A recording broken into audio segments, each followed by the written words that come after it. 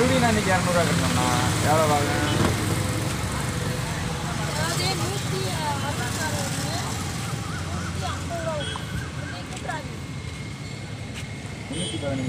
முந்நூற்றி அறுபத்தாறு முந்நூற்றி அறுபது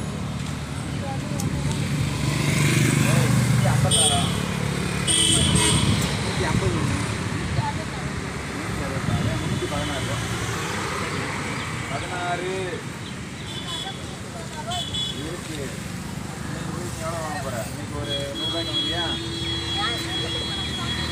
ಕಾಪಾಡಿದಾಗ